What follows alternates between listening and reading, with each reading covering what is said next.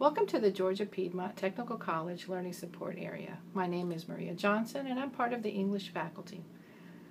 As you pursue your studies in either a diploma or degree track, you may need to take some learning support classes to prepare you for English 1010 or English 1101.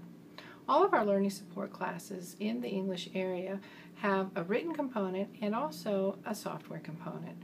In the written component, you will be working on constructing sentences to paragraphs or paragraphs to essays. And all the software programs will require that you take a pre-diagnostic test that will establish for you a study path that you will complete throughout the semester.